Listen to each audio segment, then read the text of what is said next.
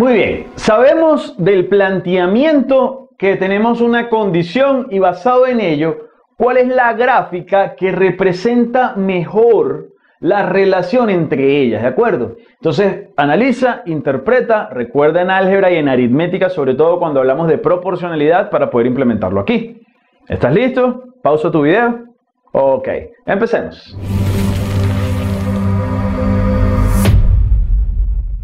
Genial. Son dos cantidades X y Y que son inversamente proporcionales. Si nos vamos a aritmética, cuando eran inversamente proporcionales, el producto de ellas era una constante. El producto de dos magnitudes es constante cuando es inversamente proporcional. Pero si lo vamos ahora a una función teniendo eje X y eje Y, tú podrías despejar de aquí el valor de Y. Y sería entonces K entre X cuando pasas la X a dividir. Y si lo quieres ver como una función, Y es f de X. Entonces f de X sería igual a quién? A K entre X, donde K puede ser cualquier número. Podemos poner ahí, de hecho, si K vale 1, f de X es 1 entre X. Entonces allí dices que este sería el comportamiento de la función para dos magnitudes que son inversamente proporcionales.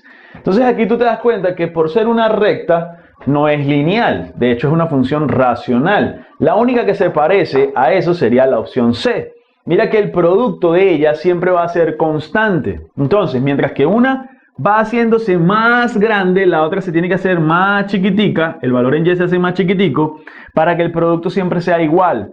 Mientras que X se hace más chiquita, Y se hace mucho más grande. Eso lo analizamos en el video de función racional donde tenemos la variable en el denominador, dominio y rango. Ahora, como son magnitudes, que es inversamente proporcional, no se está graficando esta parte de la curva por el hecho de que se está tomando solamente magnitudes que son valores positivos. Por ejemplo, distancia con tiempo, si hablamos de, de lo que son magnitudes físicas, ¿de acuerdo?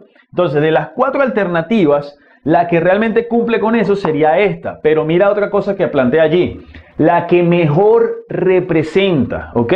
Cuando son magnitudes inversamente proporcionales, es esta. Tú pudiste haber analizado también la B, por ejemplo. La B dice, pero ya va, espérate un momentico, mira que a medida que, como esto es una recta que va decreciendo, una función lineal, aquí, mientras que X va aumentando, el valor de Y va a irse haciendo más pequeño.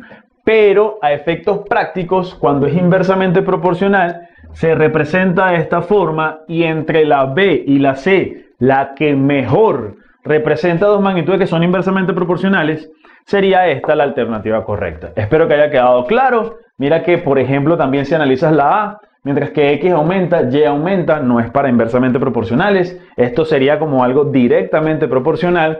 Y acá esta curva no está un planteamiento donde habla de la proporcionalidad. Esto sería pseudo cuadrático. Entonces la que mejor representa aquí en este caso sería esta de acá. Espero que haya quedado claro, que hayas entendido y básicamente eso es lo que podríamos ver en este ejercicio. ¿ok? Nos vemos entonces en los siguientes. Chao.